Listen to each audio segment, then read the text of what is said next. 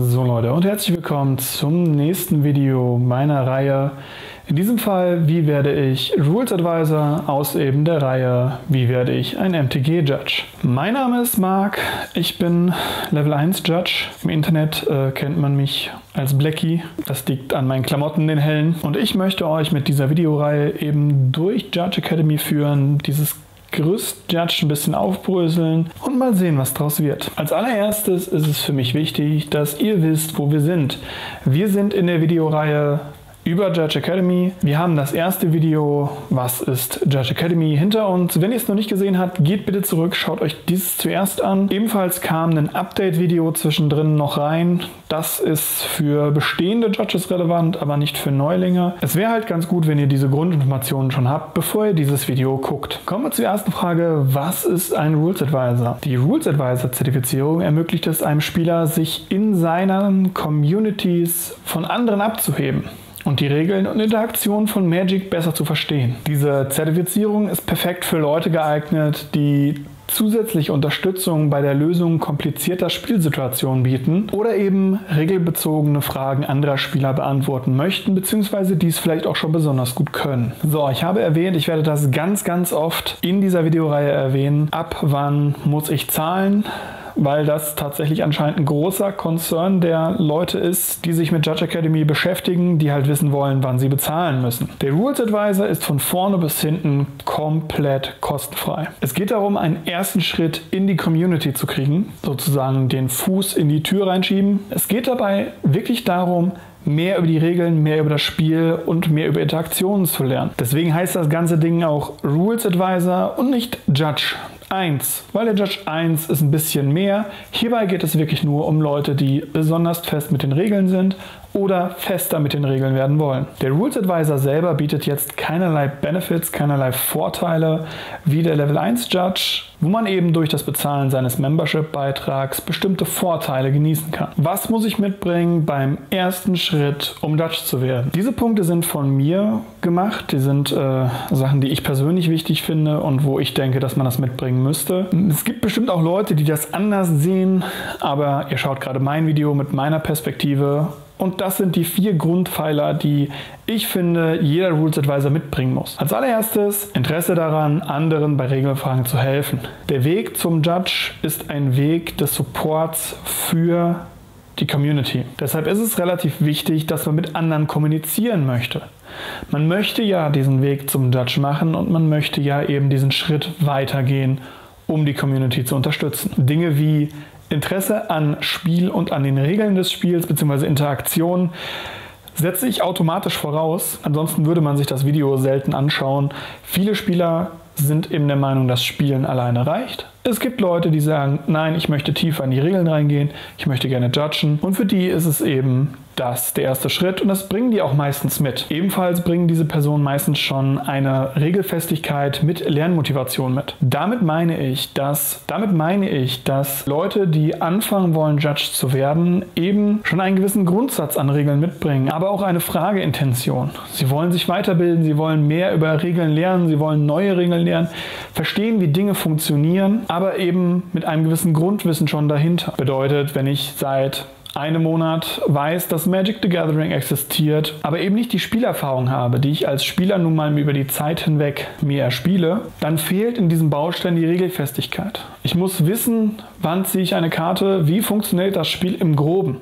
Das meine ich mit Regelfestigkeit. Und diese Lernmotivation habe ich doppelt aufgeführt, weil ich finde, das ist eine Sache, die ihr in der Judge Academy ganz, ganz hart haben müsst. Die Judge Academy gibt euch einen Ort, an dem ihr relativ viele theoretische Konzepte erkennen könnt, relativ viele Regelfragen und auch Regelsachen lernt, genau wie Tournament Organization und ähnliches. Allerdings nur in der Theorie. Für den Rules Advisor ist es nicht schlimm, da geht es erstmal nur um die Theorie, pures Regellernen, Regeln verstehen, Regeln anwenden. Ich werde euch in diesem Video hier nicht zeigen, wie ihr einen Account auf Judge Academy der Seite erstellt. Das hoffe ich, dass ihr das schon selber hinbekommt und dass ihr euch da eben dieses Minimal an Arbeit macht, diese Seite auch zu finden. So, ich hatte im ersten Video schon mal über das Kurssystem geredet, das werde ich hier jetzt ein bisschen vertiefen.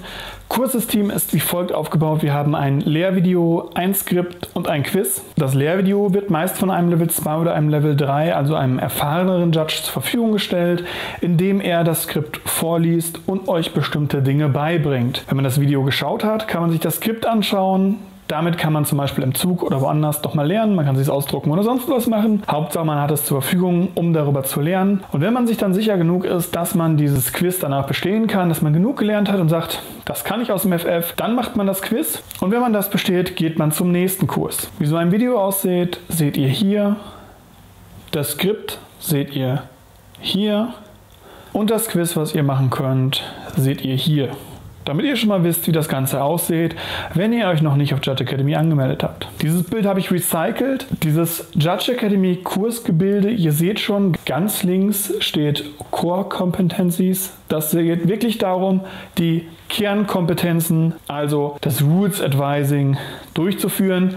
Dieser Track ist praktisch der Track des Rules Advisors. Am Ende dieses Tracks könnt ihr eben den Rules Advisor bekommen. So, ich werde jetzt ein bisschen genauer auf die Kurse mit euch eingehen, damit ihr schon mal grob wisst, was euch erwartet und ob ihr an dieser Stelle überhaupt weitermachen wollt. Die Kernkompetenzkurse sind wie folgendes. Wir haben Steps and Phases of a Turn. In diesem Fall geht es darum, den Unterschied zwischen Step und Phase herauszukristallisieren, wie auch welche Steps gibt es? Welche Phases gibt es? Casting Spells and Activating Abilities. In diesem Kurs geht es hauptsächlich darum, wie man einen Zauber korrekt castet und wie man eine aktivierte Fähigkeit ausspielt. Combat in Depth ist genau das, was es sagt. Es ist eben eine genauere Betrachtweise des Combats, also des Angreifens und Blockens. Replacement Effects und Triggered Abilities erklärt sich relativ von selbst. Es geht um Triggered Abilities und Replacement Effects. In dem Kurs Keyword Actions und Abilities geht es hauptsächlich eben um bestimmte Schlüsselwörter und eben die Evergreens. Dann kommt mein persönlicher Feind, äh, Layers. Layers sind, wenn man sie einmal verstanden hat, ziemlich einfach, aber bis dorthin ist es tatsächlich meiner Meinung nach das schwerste am Rules Advisor Test. Hier wird besonders auf die Layer 7 eingegangen, weil sie doch etwas komplizierter ist, aber grundsätzlich lernt man erstmal alle Layers, um Dinge besser zu verstehen zu können. Warum passieren Dinge, wie sie passieren?